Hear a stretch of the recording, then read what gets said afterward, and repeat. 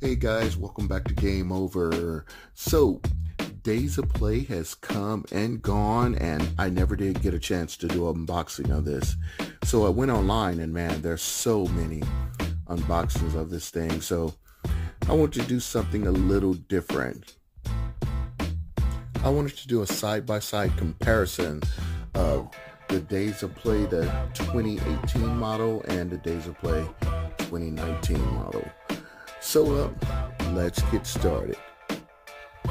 So I still haven't unboxed this bad boy. I'm just gonna bust it open and just lay it right in front of here, right next to this one. Okay. And here we go. I got both of them unboxed. And wow, it looks really, really nice.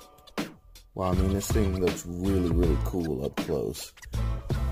It's got that steel look about it. Very, very cool. And I still love my uh, 2018 model that looks really nice, so glossy. I love the way they did this right here. The triangles and squares bursting out of the console. That's really cool. So which one do I like the best? Which one do I like the best?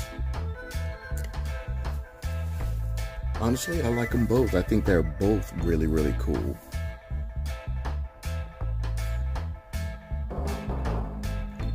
But if I have to choose one, eh, I guess I would say I kind of like the 2018 model better. I don't know why. I love that blue style, how it's glossy with the gold square triangle and X and O. I love that. Now, I'm not saying this one doesn't look good because it looks really, really cool. It really does. But my preference this time happens to be the blue one. I really, really like it. So I know this has been like pretty much a quick video. I just want to do a comparison of the consoles.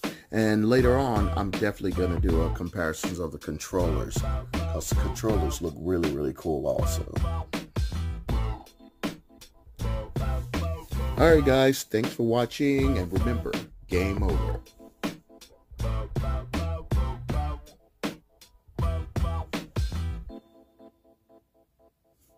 Blue or steel? Which one you like, blue or steel?